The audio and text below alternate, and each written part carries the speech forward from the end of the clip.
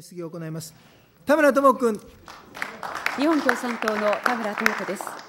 今年も保育園落ちたという大変悲痛な声が多数寄せられています。私は昨年の予算委員会でも保育所待機児童問題を取り上げましてこの緊急の保育や対策が必要だということあるいは認可保育所を抜本的に増やすための提案というのも強く求めてきたわけです。えー、今年もまた同じ事態がというふうに言わざるを得ないことが大変悔しい思いです。厚労大臣、この4月の待機児童の状況をどのように認識されておりますか？塩崎厚労大臣。あの現在、各市区町村におきまして、えー、今年の4月からの入園、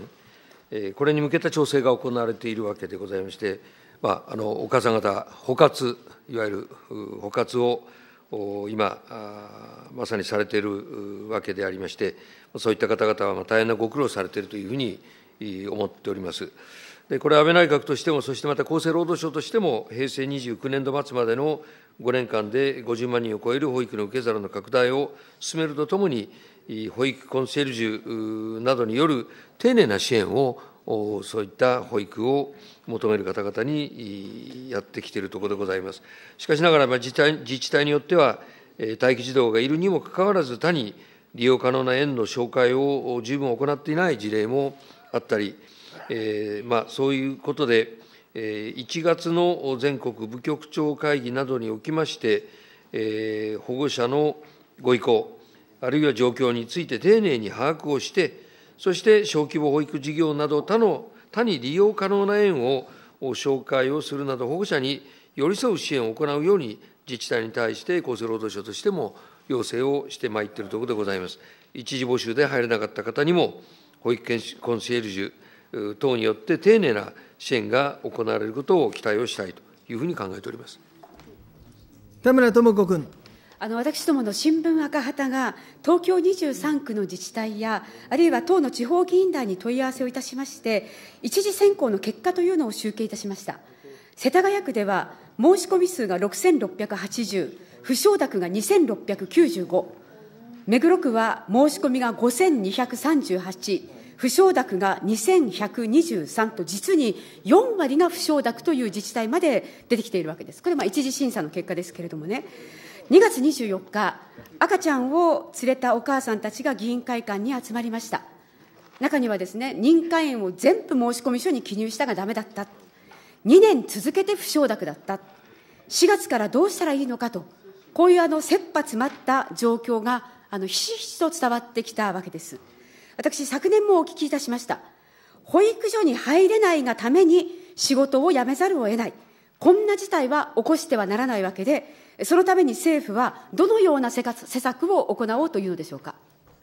塩崎厚労大臣。あの先ほど申し上げたとおり、あの補活をされている方々がですね、子どもさんが生まれたのに保育園に預けられないということで、仕事が続けられないということは、えー、これはもう極めて切実な思いを抱かれていることはもう間違いないわけでありまして、こういう方々の声に応えるためには、政府として、まあ、一つはあの保育の受け皿の拡大、それから保育人材の確保、当然、まあ、あのそのための処遇の改善、こういったことをしっかりと今、取り組みつつあるわけで、29年度の予算でも同じように、え、そういう対策を打っているわけであります。それから保育先ほど申し上げたとおり、あの一人一人のニーズに合った各自治体からの、えー、利用者支援、これを私どもとしてもバックアップをしていきたいと思っております。もう一つは、働き方改革で、えー、子育てをしながら働けるという環境をしっかりと作っていくということで、まあ、仕事とし子育てが両立をできて、さらに、まあ、安心して子どもが育てられる環境の整備をしっかりやらなければならないというふうに考えております田村智子君。これあのその24日に集まったお母さんたちも怒っていた一つは役所に今行ってもですね入れないっていうことで言ってもとにかくねあなたが入れない理由っていうのを延々説明されるだけでそれじゃあどうしたらいいのっていうのに答えてもらえないとまるで諦めろって言われてるようだこういう方が何人もいらっしゃったわけですね。私、確認をしたいんです。政府は子ども子育て支援法の施行に伴って、児童福祉法24条1項、この自治体の保育の実施義務というのは、法改正の前後で基本的には変わらないと、こう説明をして、その趣旨を、えー、周知をしてきたというふうに認識しております。多くの自治体が例えばあの保育所整備計画の前倒しとかね、そういうあの努力をしているということは私も分かります。それでも結果として待機児童が生じたと。その時自治体は保育の必要性が認定された個々の子どもに何らかの保護を与えて、保護者が退職に追い込まれることがないようにする必要があるというふうに思うんですが、そこはいかがでしょうか？塩崎厚労大臣。あの今ご指摘をいただいたこの児童福祉法第24条、えー、これに基づいてあの各市町村は保育園などの保育の提供体制を確保するとともに、保育園などが不足をしている場合には、その利用について調整を行うと、こういうことが定められているわけでございます。でさらに利用調整の後に入園に至らなかった方、こういった方々に対しては、継続してそのご意向、あるいは状況の把握に努めて、保護者のニーズに合った丁寧な支援を行う必要があるというふうに考えております田村智子君。あのそういうふうに自治体にちゃんとね、やってほしいんですよ。諦めろって言わんばかりのことは、本当やってはだめだというふうに思いますし、あのもっと言うとね、自治体はね、2月、3月よりもっと早くから、待機児童どうなるかっていうのは分かるはずなんですよ。申し込みを受けた時点からね、その時から需要を満たすようにどうしたらいいのかと、保育所等の確保、あるいは結果として待機児童出た場合、個別の保護者にどう向き合って対応していくのか。これやらなきゃいけないし、国も自治体と連携して対策を進めることを強く求めておきたいというふうに思います。で待機児童解決の緊急策として、我が党は昨年、認可保育所を抜本的に増やすための提案を行いました。その一つが、公立保育所を減らすのではなく、拡充することだということです。お母さんたちもですね、なんで足りないって分かってるんだったら、自治体が自ら保育所を増やさないのかとこう言われてるわけですよ。当然の声だと思います。全国で公立保育所減り続けていて、待機児童を多数抱える自治体でも同じ傾向です。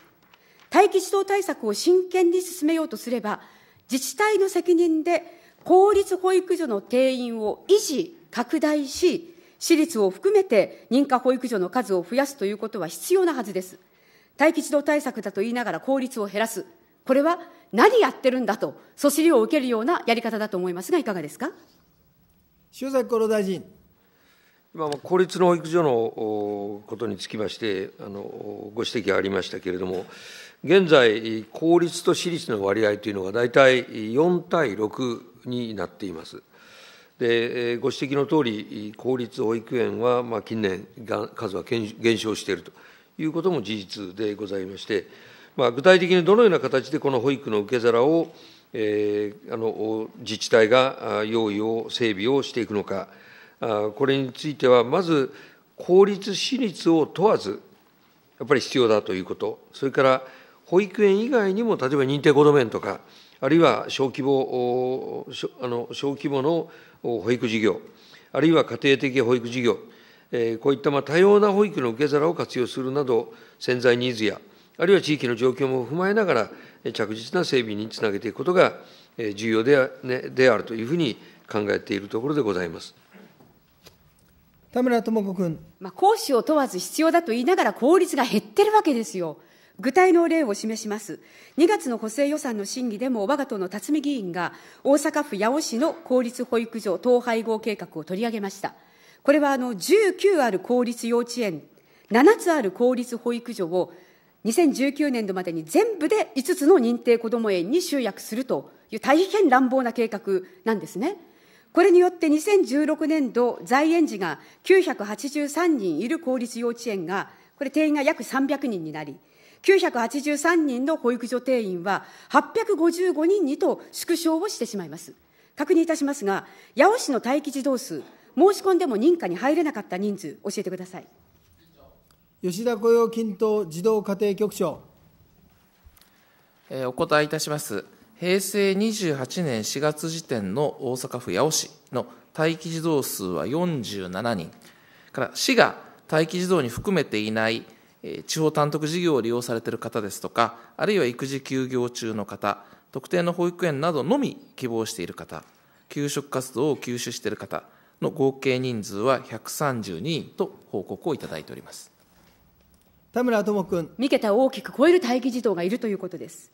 東京都久留米市、5つの公立保育園の廃止を昨年3月に突如発表いたしました。まず1円、募集停止を来年度行おうとしています。東久留米市の待機児童数は同じように教えてください。吉田雇用均等児童家庭局長。お答えいたします。同じく平成28年4月時点の東京都東久留米市の待機児童数は92人、同様に、特定の保育園などを希望されている方など、市が待機児童に含めていない方々、先ほどのあの八尾市と同じようなカテゴリーで申し上げますと、合計人数は89人と報告をいただいております田村智子君。こう、三桁近いんですね。厚労大臣、お聞きします。待機児童が現にいるんですよ、少なくなく。そして保護者の認可保育所へのニーズも高い。保育所の増設が必要な自治体でさえ、公立保育所が単純に減らされていくんですよ。定員が減っていくんですよ。なんでこんなことが起きるんでしょうか？塩崎厚労大臣。まあ、先ほど申し上げたとおり、あの具体的にどのような形で保育の受け皿を整備するか、あこれにつきましてはあの、それぞれの地域が、それぞれ、まあ、住民の構成等々がございますので、抱える事情が異なるわけでありますから、それを踏まえて、えー、その今、お取り上げをいただいた八尾市と東久留米もそうでありますけれども、両市において、えー、それぞれまあご判断をされた結果だというふうに思っているところでございます。田村智子君。そんな答弁で待機児童を解決しようなんてとても思えないんですけど、それだけの答弁でよろしいんですか？塩崎厚労大臣。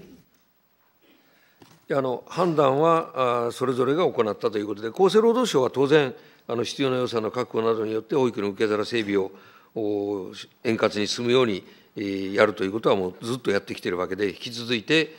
各市町村の取り組みを支えていくと、そのどうやるかということについては、それぞれが決めるという意味合いで申し上げたところでございます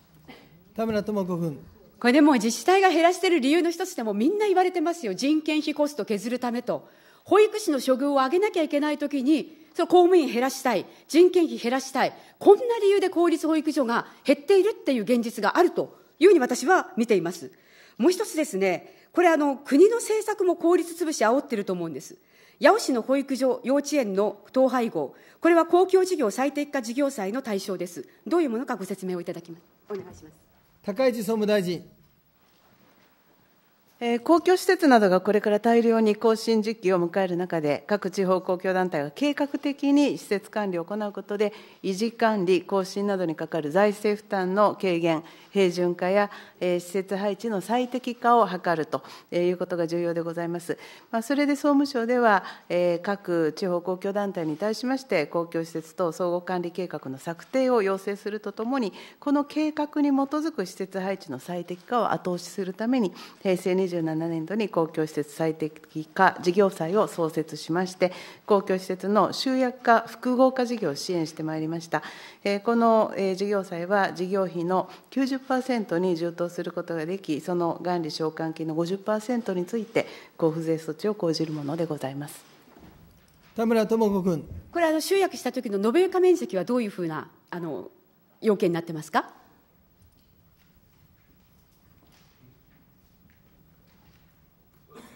高市総務大臣。えっと、床面積につきましては、えー、縮小をいたします。田村智子君。縮小しなきゃいけないんですよ。では、2014年度、2015年度、公共事業最適化事業債の実績のうち、保育所等の集約化、これの件数を教えてください。高市総務大臣。平成27年度におきましては、えー、保育所幼稚園の集約化、複合化分は10件となっています。平成28年度のは、えー、2月28日現在になりますけれども、50件、あすいません、えー、保育所、幼稚園の集約化、複合化分は16件となっております田村智子君。この、ね、計画の中には、待機児童数の多い自治体の保育所集約計画というのも含まれているわけです。もう一度厚労大あ、総務大臣にもお聞きしたいんですね。これでは、これ、待機児童の解消って見たときに、この保育所の集約、待機児童数の多い自治体でも、あの保育所を集約しちゃう、これは待機児童の解決ということに逆行するというふうに思いませんか？高市総務大臣。あの公共施設最適化事業債は、確かにあの集約化や複合化に、えー、活用はできますけれども、まあ、これは保育所や幼稚園といった特定の施設の廃止や統合を進めようとしているものではございません。この各地方公共団体において、まあ、保育所などの子育て施設について、それをどのように配置することが、待機児童の解消につながるのかということも含めて、えー、しっかりと議会やあの住民の方々との議論も行って、検討していただくべきものでございます。まあ、ちなみに総務省でも、この待機児童の解消というのは非常に重要なことだと考えておりますので、行政評価局で、行政評価を行いまして、昨年12月9日に加藤少子化担当大臣、塩崎厚労大臣に、この改善をしていただきたい点について勧告を行っております。まあ、特により正確に需要を把握していただくということ、それからまた待機児童の範囲の明確化と、それを踏まえて入所保留児童数をしっかり公表していただくということなどについても勧告を行っております田村智君。これね、八尾市では保護者の理解なんか全くないですし、今、大問題になっているってことなんですね。であのもう一歩見てみるとね、公立保育所、多くはね、1970年代に本当にたくさん作られたんです。老朽化がこの数年、大変問題になっている。ところが、公立保育所に対する国庫負担制度がすべて廃止をされてしまった。費用負担の重さを理由に、そう公立保育所を減らされているって傾向が止まらないわけです。集約化で改築予算を確保しよう。こういう動きにもつながっている。こういう政策でいいのかっていうことが、私は政権全体に問われているというふうに思いますよ。で、厚労大臣にお聞きしたいんです。今ね、私立の保育所の経営者からも、公立保育所は3歳児の壁の解決、これにもっと役割果たせるはずだと。あるいは障害児保育もっと担ってほしいと。こういう声が聞かれます。また民間の保育施設では、新設をしたときに経験の浅い保育士が多数を占めるという場合もあって保育士の研修や実践的な指導をもっと効率に担ってほしいんだとこういう声も聞かれるわけです。待機児童の解決とか地域の保育の質の確保から見て公立保育所の役割これ再認識する必要があると思いますがいかがですか？塩崎厚労大臣。まあの今、ご指摘をいただいたようなお考えの方々もおられることは十分分かっておるわけでありますけれども、公立の保育保育所であろうと、保育園であろうとですね、私立の保育園であろうと、やはりこの障害のあるお子さんの保育とか、あるいは今、まあ、あの3歳あの3歳の壁ということでありましたが、3歳児以降の保育の受け皿となる連携施設、まあ、こういったことなど、まあ、地域における保育において重要な役割をいずれもやはり果たしているんだろうと。いうふうに思います。でこうしたことを踏まえて、市区町村においては、地域の保育ニーズに対応した保育園の整備を進めているわけでありまして、国としては先ほど来申し上げているとおり、こうした市区町村の取り組みをしっかりと支えてまいりたいというふうに考えて、実際に行っているところでございます。田村智子君。昨年も求めたんですけど、待機児童の解決に真剣に取り組むんだったら、やっぱりね、公立保育所へのあの新設、改築、この補助金をね、なくしてしまったって、本当に重大だったと思うんです。運営費もやめちゃったと、直接の補助は。これが公立保育所増えるのもストップさせ、逆に減る方へ減る方へと誘導していることは事実なんですから、この政策の抜本的な転換を強く求めたいというふうに思います。で今日はあの続けてですね、学童保育についてもお聞きいたします。今ね、保護者の中では、次は学童保育の待機化っていう声が非常に強まってきているんですね。あの、私もですね、先日ある民間の学童保育を訪ねました。この間ずっと入所希望が増えていてですね、あの、自分たちで場所を探しては、分割をこう繰り返して、なんとか待機児童をこう作り出さないようにって民間の方が頑張ってらっしゃるんですよ。それでも私が見に行った箇所は100人を超えています。で、この大規模化を解消するために、なんとかもう一つ場所探して分割しようっていうふうに頑張ってらっしゃるんですけれども、これね、自治体はどういう扱いかっていうと、あの、入れる入れないはどうぞ民間でご判断くださいと。それでまた、あの、場所の確保っていう時には、確保したら教えてくださいねと、お金出しますからと。こういう対応になってしまっているんですよ。で、実はこの自治体は、保育所については一生懸命場所の確保を頑張ってるんです。そういう自治体多くあると思います。学童がね、これがあの民間でやってらっしゃる方が自分で場所探しなさいよと、それで大規模化を解消するのを自分で努力しなさいよというのは、これはね、あまりにも責任を果たしてないんじゃないかなというふうに思うんですが、何らかの支援、必要だと思われませんか？修崎厚労大臣。この放課後児童クラブも極めて大事なあの役割を今、子育て支援で、えー、あるわけでありますが、この場所の確保について今、ご指摘がございました。この市町村がまいろいろ取り組みをしているわけでありますけれども、国としては、例えばよあの余裕教室の改修に対する補助額の加算とか、あるいは公有財産の活用への支援、ま、こういったことを行っておりますし、加えて、身近な地域で実施場所を確保するために、民間の、ま、施設、アパートとか、ま、そういったものを賃貸、賃借する費用への補助、それから施設を新たに整備する場合の土地借料の援助、まあ、こういったことの支援に力を今入れてきているところでございます。でこれらの施設も活用しながら、場所の確保を進めるように、放課後児童クラブの事業実施主体である市町村に対して、え働きかけてまいりたいと、まあ、このように考えているところでございます。田村智子君。あの現場からの要望にね、もっともっと応えてほしいというふうに思います。で、私が危惧しているのは、政府が学童保育の待機児童対策として打ち出している放課後子どもプランの中の、えー、学童クラブと放課後子ども教室の一体型の推進。これね、多くの自治体がこれで待機児童を作らないようにっていうふうになってきてるんですけれども、まずこの一体型、何をやろうとしているのか、ご説明いただけますか？吉田雇用均等児童家庭局長。えー、お答えいたします。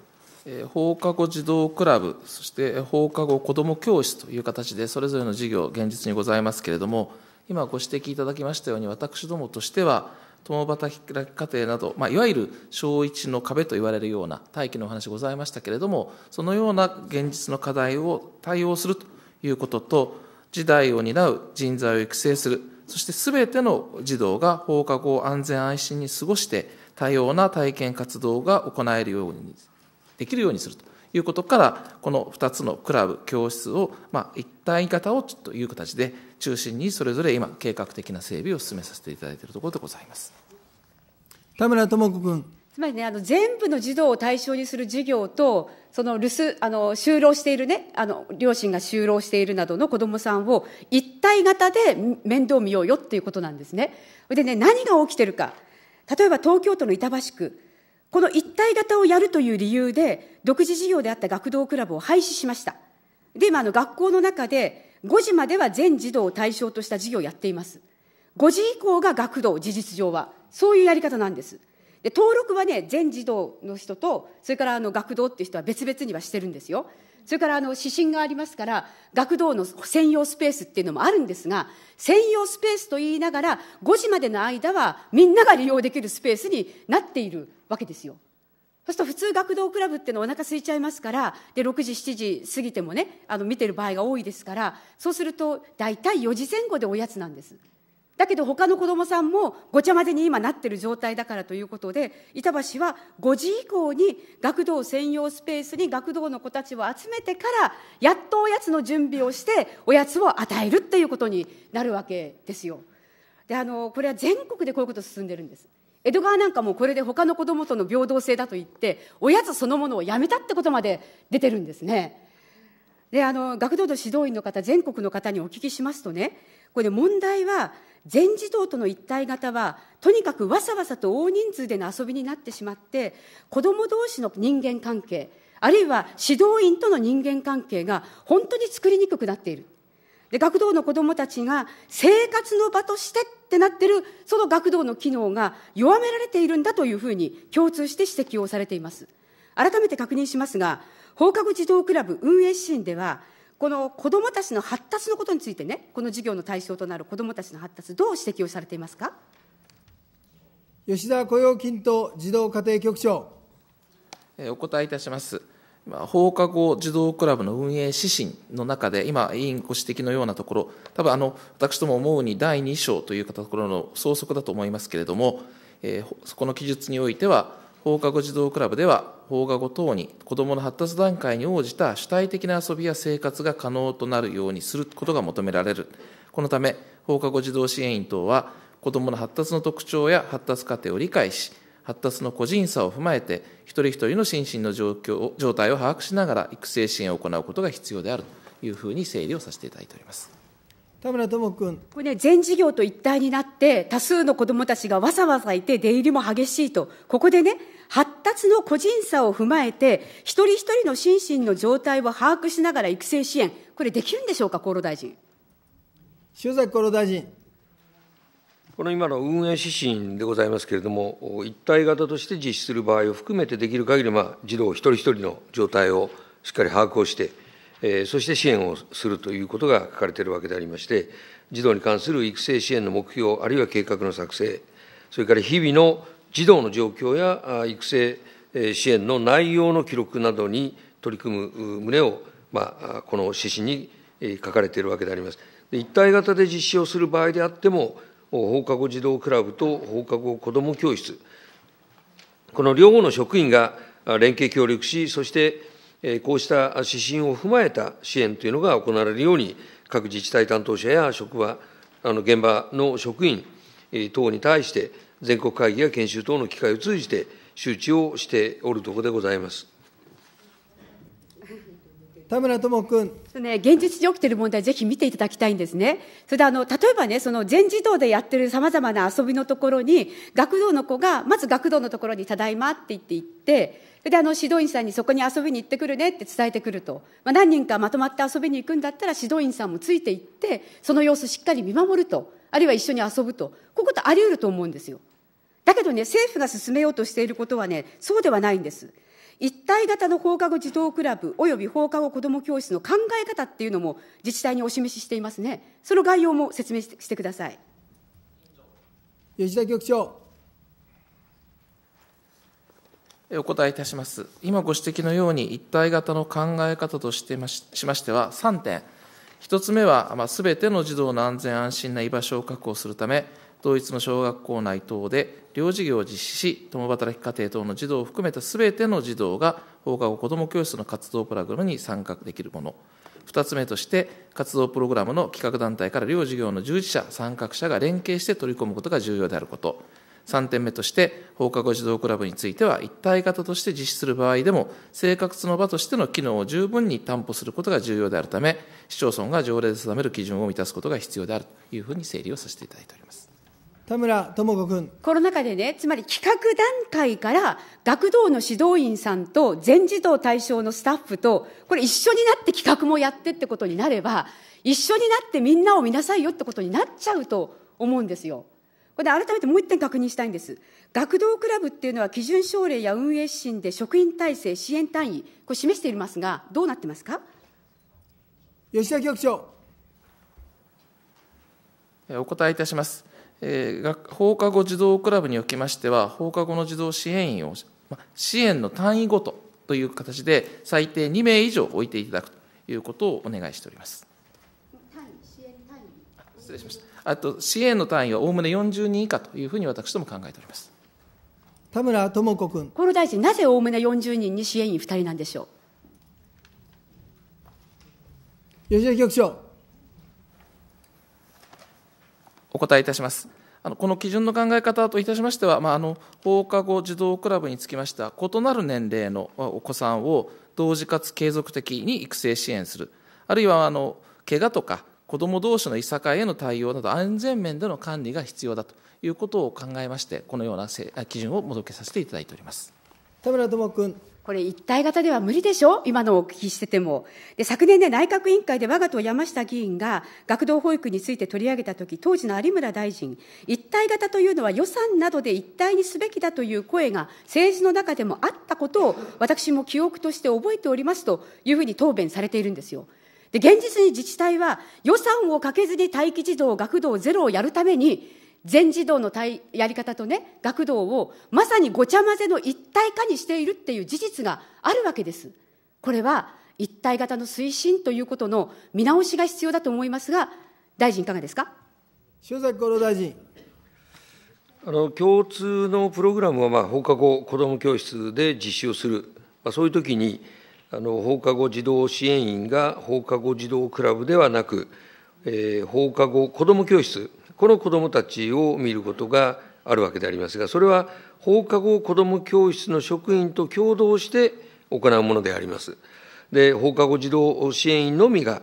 えー、大人数の児童を見るわけではないわけでありまして、一体型っていうのは、安全安心な居場所づくりとしての、して、まあ、ての児童を対象とする放課後対策の一環と考えているわけでありまして、引き続いて、両事業の機能を、えー、しっかりと維持しながら、取り組んでいくべきだというふうに思っております。田村智子君。あの、これで、あの、2万箇所作るうちの 1, 1万箇所は、えーえー、この一体型でっていうふうに旗振ってらっしゃるんですよ。ぜひね、現場で何が起きているのかをしっかり見て、必要だったら施策の見直しをしていただきたい。このことを申し上げて質問を終わります。